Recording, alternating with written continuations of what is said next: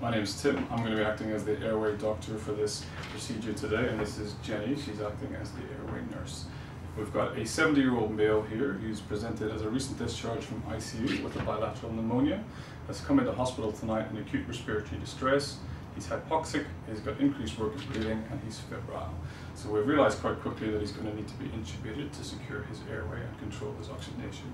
Um, difficulties surrounding this case are that he's presumed to be pretty septic, and he's borderline hypotensive, so there's a number of issues that we have to treat first of all.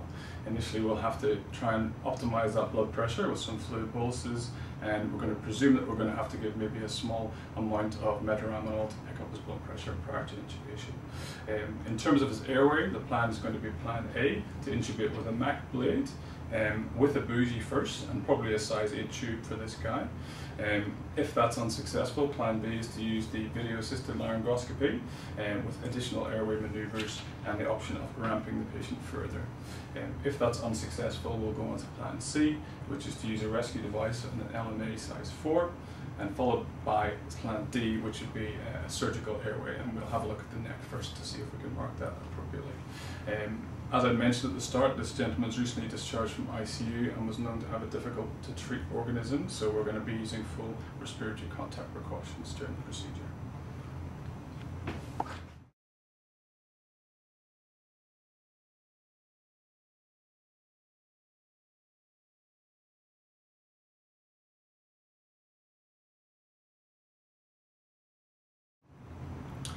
Okay, so as you can see, we've all applied surgical masks to our face, given this guy is a risk of respiratory infection.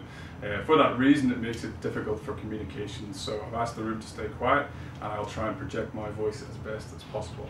Um, so far, this patient has been pre-oxygenated with nasal prongs and a bag valve mask. Uh, we've given a small amount of metaraminol in addition to fluid bolus, and despite that, he remains slightly hypotensive. We're going to have to intubate him fairly quickly. So Jenny, are you ready to go with our planned procedures? Yeah, ready. Okay, so first instance, we'll go for plan A, which is a Mac blade.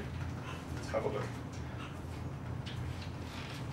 At the moment, I'm getting a very poor view. All I can see is tongue, no view of the cords, still no view. It's a field plan A. We're going to come out, we'll reoxygenate, and we'll get prepared for plan B. So I've got Amanda on standby to provide some additional airway maneuvers.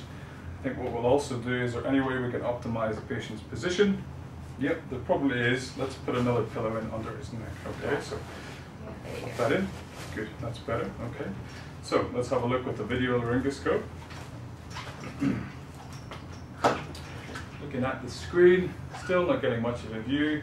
Amanda, if you could put your hand there for me and provide some burp, just keep it there. That's perfect. Looking at the screen, bougie to me. Back to the screen. Good. Tube over the bougie, please. Tube to my fingers. Tube to your fingers. Take the tip of the bougie. Okay. Bougie out. Bougie's out. Cuff up. Cuffs in. Good. Capnography, please. Okay, and ventilate. Amanda, can you have a listen to both sides of the chest? Yeah. Tube's fogging, and we've got a capnography trace. Yeah. Good, we have a successful intubation.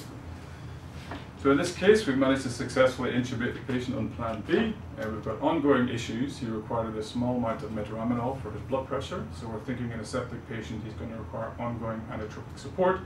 And on a background of a bilateral pneumonia, we've also got issues to think about regarding his ventilation. So we'll speak to the ICU doctors about that.